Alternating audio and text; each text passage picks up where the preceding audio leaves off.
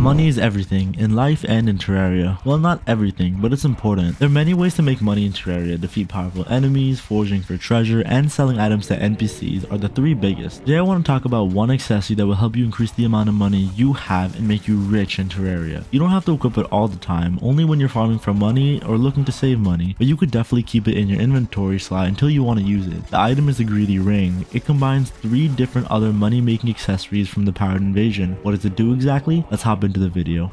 The Greedy Ring is made by combining the Lucky Coin, Discount Card, and Gold Ring and provides the player with all their benefits. First up, enemies will start to drop coins upon being hit. Normally enemies drop coins upon death, but with the Greedy Ring equipped, there's a 20% chance that an enemy will drop a coin upon being hit. The dropped coin has an 89% chance to be copper, 10% chance to be silver, and a 1% chance to be gold. This means that using super low damage weapons can yield heavy profit because the enemy will be hit so many times and will drop many coins. For example, using low damage but fast shooting guns like the Mega Shark against tanky enemies like the Ice Golem is a great way to farm money. They'll drop a few coins every second and you can turn this into a full-size farm with some work and different weapons. The Crimson Rod is another great option apart from the Mini Shark since it allows you to sit inside a box and stay safe while the rain hits your enemies and causes them to drop tons of coins.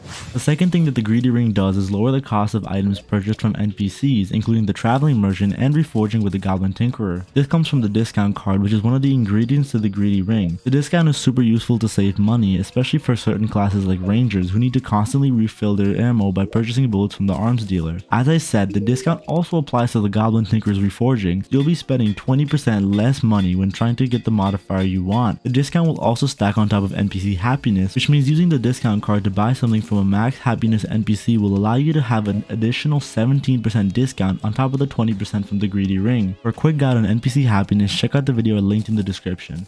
The last ability the Greedy Ring gives you is an increased range to pick up coins which comes from the gold ring. This is very useful during mainly invasions and when navigating around enemy filled areas like the underground jungle. You'll pick up a lot more coins than normal because you'll attract coins from enemies that are farther away or enemies that your summon kills.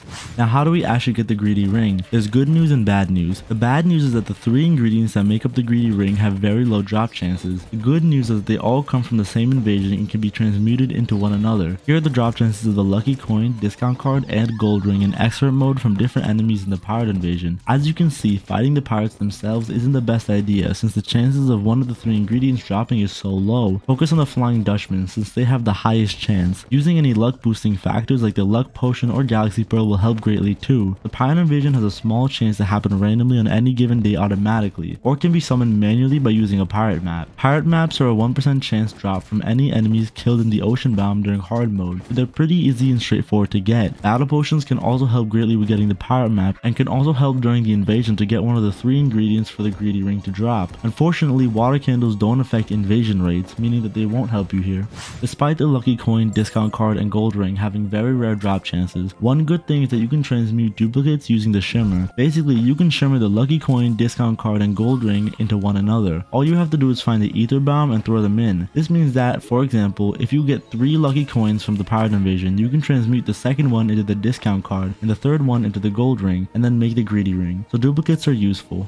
And that's it. The greedy ring is a great accessory in Terraria that is available in early hard mode and provides endless value. Have you ever made it before? Do you think that it's worth it? Leave a like for more content like this and I'll see you guys in the next video. Have a beautiful day and peace.